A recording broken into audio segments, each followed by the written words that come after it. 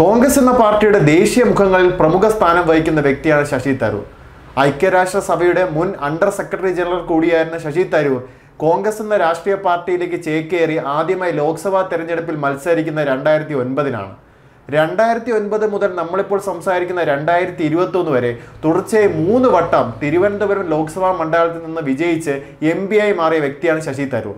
രണ്ടായിരത്തി പതിനാല് ജനുവരി പതിനേഴിന് ഡൽഹിയിലെ ലീല പാലസ് ഹോട്ടലിൽ തന്റെ മുറിയിൽ മരിച്ചു കിടന്ന തന്റെ ഭാര്യ കൂടിയായിട്ടുള്ള സുനന്ദ പുഷ്കറിന്റെ മരണവുമായി ബന്ധപ്പെട്ട് ഏറെ വിവാദങ്ങൾ ശശി തരൂരിന്റെ മേലും ഉണ്ടായിരുന്നു.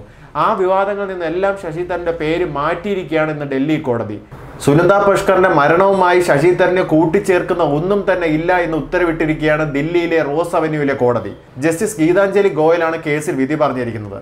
ഡൽഹി പോലീസ് ഉന്നയിച്ച എല്ലാ വാദങ്ങളും തള്ളിക്കൊണ്ടാണ് ശശി തരൂരിന് ക്ലീൻ ചീറ്റ് ഇപ്പോൾ കോടതി നൽകിയിരിക്കുന്നത്. സുനിത പുഷ്കറിന്റെ മരണത്തിൽ ആത്മഹത്യാ പ്രേരണ കുറ്റം ശശി തരൂരിന് മേൽ ചുമത്താൻ സാധിക്കില്ല എന്നാണ് കോടതി പറഞ്ഞിട്ടുള്ളത്.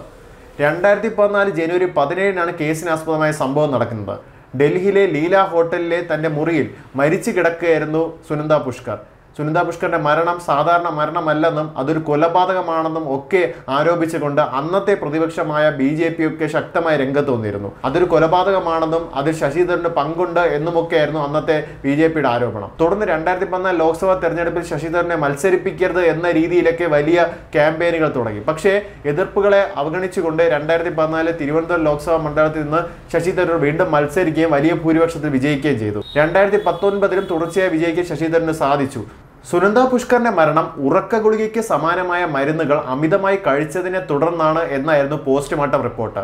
ശരീരത്തിൽ പന്ത്രണ്ടോളം മുറിവുകൾ ഉണ്ടായിരുന്നു അതിൽ ചിലത് പല്ലും നഖവും കൊണ്ട് ഏറ്റതാണെന്നും പോസ്റ്റ്മോർട്ടം റിപ്പോർട്ടിൽ ഉണ്ടായിരുന്നു ശശി തരൂരും സുനന്ദ പുഷ്കറും തമ്മിൽ നല്ല ബന്ധത്തിലായിരുന്നില്ല മരണസമയത്ത് എന്ന കാര്യം എല്ലാവർക്കും അറിയാമായിരുന്നു. സുനന്ദ പുഷ്കർ തന്നെ തന്റെ അടുത്ത മാധ്യമ സുഹൃത്തുക്കളിൽ ഒരാളോട് എല്ലാ കാര്യങ്ങളും വിശദീകരിക്കാൻ ഇരിക്കുമ്പോഴാണ് സുനന്ദ പുഷ്കറിന്റെ മൃതദേഹം ഹോട്ടൽ മുറിയിൽ നിന്ന് ലഭിക്കുന്നത്. തുടർന്ന് വലിയ വിവാദങ്ങളാണ് കേസുമായി ബന്ധപ്പെട്ടുണ്ടായത്. മരണത്തിന് പിന്നാലെ ശശി തരൂരും സുനന്ദയുടെ മകൻ ശിവൻ മേനോനും ഉൾപ്പെടെയുള്ള എട്ട് പേരിൽ നിന്ന് ദില്ലി സബ് ഡിവിഷണൽ മജിസ്ട്രേറ്റ് മൊഴിയെടുത്തിരുന്നു. ഹോട്ടലിലെ സി സി ടി വി ദൃശ്യങ്ങൾ ദില്ലി പോലീസ് പരിശോധിക്കുകയും രണ്ടായിരത്തി പതിനാല് ജനുവരി ഇരുപത്തി മൂന്നിന് കേസ് അന്വേഷണം ക്രൈംബ്രാഞ്ചിന് കൈമാറുകയും ചെയ്തു.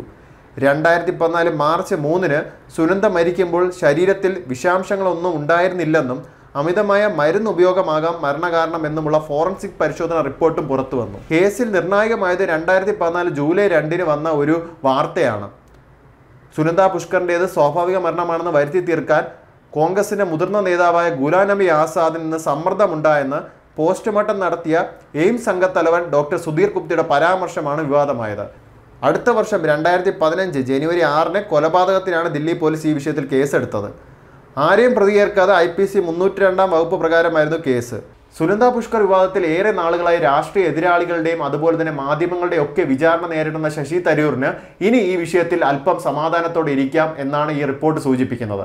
അതേസമയത്ത് തന്നെ ശശി തരൂരിനെതിരെ ഇപ്പോൾ ഡൽഹി പോലീസ് കൂടുതൽ അപ്പീൽ നൽകാനുള്ള സാധ്യത ഈ വിഷയത്തിൽ കാണുന്നുണ്ട്. നിലവിൽ എന്തായാലും ശശി തരൂർ കേസിൽ നിന്ന് കുറ്റവിമുക്തനായിരിക്കുകയാണ്. പ്രതിപ്പട്ടികയിൽ നിന്ന് ഒഴിവാക്കിയത് ശശി തരൂരിനും അതുപോലെ കോൺഗ്രസ് പാർട്ടിക്കും ഏറെ ആശ്വാസകരമായിരിക്കുകയാണ്. കൂടുതൽ വാർത്തകൾക്കായി ഞങ്ങളുടെ വെബ്സൈറ്റായ Malayalam dot Samayam dot com സന്ദർശിക്കുക. കൂടുതൽ വീഡിയോകൾക്കായി ഞങ്ങളുടെ ചാനൽ സബ്സ്ക്രൈബ് ചെയ്യുക. ഇത് സമയം മലയാളം ഫ്രം ടൈംസ് ഇന്റർനെറ്റ്